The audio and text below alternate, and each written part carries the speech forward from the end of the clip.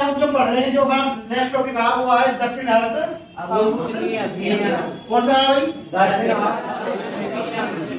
तो दक्षिण हस्त अंगुष्ठ नियम हम क्यों पढ़ते हैं? क्योंकि बस हमें इसमें बेटे जो चुंबकीय क्षेत्र हमारा होता है उसकी दिशा को जानने के लिए बेटे हम इस नियम को दिया गया। इसकी सहायता से बेटे हम क्या करेंगे? जो चुंबकीय क्षेत्र है हमारा उसकी दिशा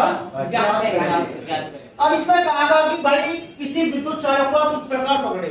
ठीक है?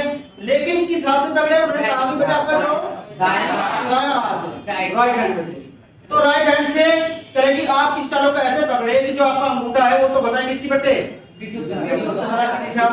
और जो आपकी जो उंगलियाँ है वो इस प्रकार लिखती हो वो चुंबकीय क्षेत्र की दिशा को बताएगी अब मैंने कहा ये कोई विद्युत है? सपोज़ हमने मान लिया है तो पहली हो।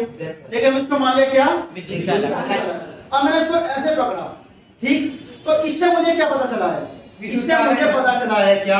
कि जो ये मेरा अंगूठा है इस ओर से बेटे मेरी विद्युत धारा बह रही है। क्लियर है? और जो बेटे मेरी ये जो फिंगर है ये बता रही चुंबकीय बल रेखा जो होती बेटे। चुंबकीय क्षेत्र की दिशा को ये बता रही अब मैंने इसको ऐसे कर दिया। तो अब धारा की दिशा ऊपर और चुंबकीय बल रेखा जो है यानी कि चुंबकीय क्षेत्र जो है वो ऐसे लिखते होंगे बात में आई तो, हाँ, तो इसको ही बेटा क्या कहते हैं आपका? दक्षिण।